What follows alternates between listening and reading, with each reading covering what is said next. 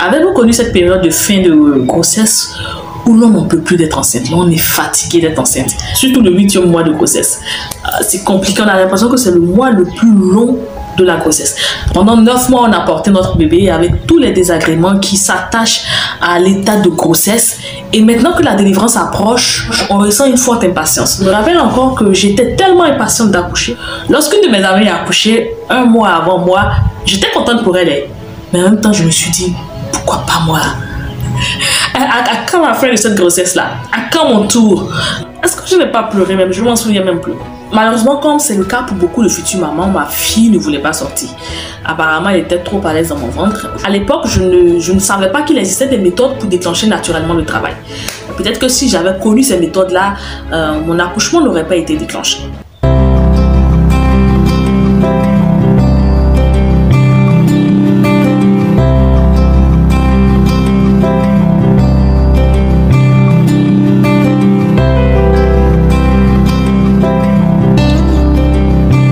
J'espère que vous allez bien. Je suis Marie-Lise Baikoro, maman et passionnée par la maternité et la parentalité bienveillante. Aujourd'hui, je veux partager avec vous 5 astuces pour faciliter de façon naturelle le déclenchement de votre accouchement quand vous êtes 1. proche de votre terme 2. quand vous avez dépassé votre terme. La première astuce que je vais vous partager, c'est la patience. Je sais, vous ne vous attendiez pas à ce que je parle de patience, mais il faut savoir accepter et attendre que bébé sorte quand il sera prêt. Refrénez donc votre impatience et laissez les choses se faire, surtout si vous n'avez pas encore atteint votre date présumée d'accouchement. Euh, quand ce sera l'heure, votre bébé sera prêt et votre corps aussi. Il faut donc prendre son mal en patience et laisser la nature faire les choses. Parce qu'à 36 semaines de grossesse, votre bébé ne pèse en moyenne que 2,4 kg. Et c'est un très petit poids. Les dernières semaines, il va prendre environ 20 grammes par semaine. Voilà, donc cette prise de poids-là est vraiment bénéfique pour lui parce qu'elle va lui permettre de mieux supporter l'accouchement en un, mais aussi euh, supporter les premières semaines. Parce que je ne sais pas si vous le savez, c'est que les, quand les bébés naissent, les premières semaines après la naissance, là, ils perdent du poids. Donc, un poids correct va permettre au bébé de mieux lutter contre le froid et les infections. Donc, si on laisse les choses se faire, cela se passe généralement mieux pour le bébé et bien sûr pour la maman. Il faut savoir aussi que solliciter un col qui n'est pas prêt est souvent vraiment douloureux et inefficace. Euh, je sais que chez nous, il y a des médicaments qu'on prend, euh, qu'on utilise pour faire des lavements, pour se purger, euh, qui sont censés déclencher le travail. Mais quand le col n'est pas prêt, c'est dangereux. Maintenant, pour celles qui ont dépassé leur terme, je vais vous proposer une deuxième méthode.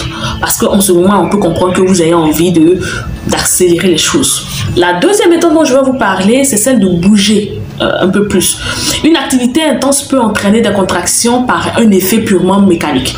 Voilà, donc avec la pesanteur, bébé va appuyer sur le col de l'utérus. Pour provoquer le travail et accélérer la descente de bébé, donc sortez de votre lit hein, et commencez à vous activer.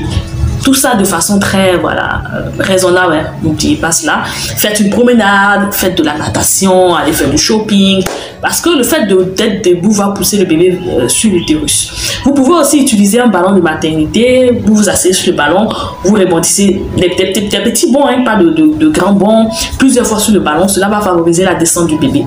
Attention, comme je vous l'ai dit un peu plus haut, n'exagérez pas. Il ne s'agit pas ici de fatiguer votre corps, mais de vous entraîner. Donc allez-y mollo, s'il vous plaît.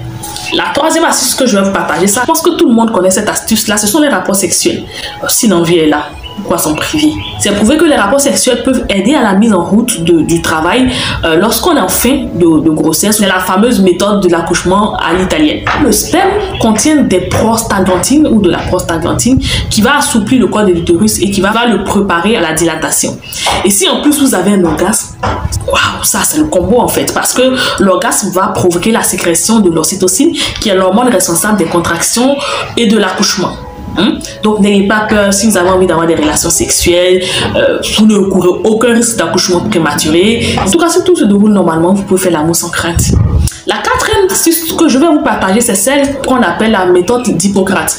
Euh, c'est la stimulation du mamelon ou des mamelons. Hein. Euh, ça va permettre de libérer aussi de l'ocytocine qui, comme je vous ai dit un peu plus haut, est l'hormone des contractions et va augmenter l'activité utérine. Mais je, tiens à préciser ce point-là. Il faut attendre 39 semaines de grossesse pour faire cela. Ne le faites pas avant, s'il vous plaît. en 39 semaines de grossesse. Plusieurs méthodes ont ainsi été préconisées. Par exemple, la première méthode, c'est celle de masser les seins autour de l'aréole et puis de rouler le mamelon. Ou on peut être plus radical en utilisant le tire-lait. Et pour que ça marche, il faut répéter l'opération plusieurs fois par jour.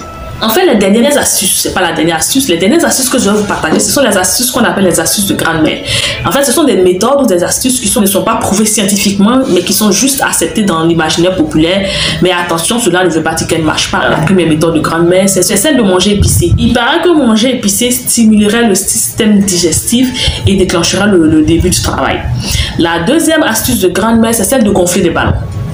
Euh, il paraît qu'en soufflant dans un ballon, on contracte notre estomac et on fait des pressions sur les muscles abdominaux, ce qui pourrait provoquer le déclenchement du travail. Il y a aussi le fait de manger des dattes. Je ne sais pas si vous connaissez les dattes, ce sont des petits fruits là.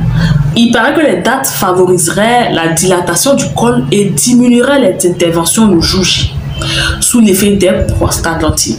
Je pense que j'ai fait le tour de la question. J'aimerais bien que vous partagiez en commentaire avec moi les astuces que vous, vous avez utilisées pour déclencher plus rapidement votre travail ou les astuces dont vous avez entendu parler. Je vous remercie en tout cas d'avoir suivi cette vidéo-là. Je vous donne rendez-vous pour une prochaine vidéo. surtout, n'oubliez pas d'aimer la vidéo pour la booster dans l'algorithme YouTube et de vous abonner à ma chaîne pour ne rien rater de mes prochaines vidéos qui seront tout aussi instructives que celle-là.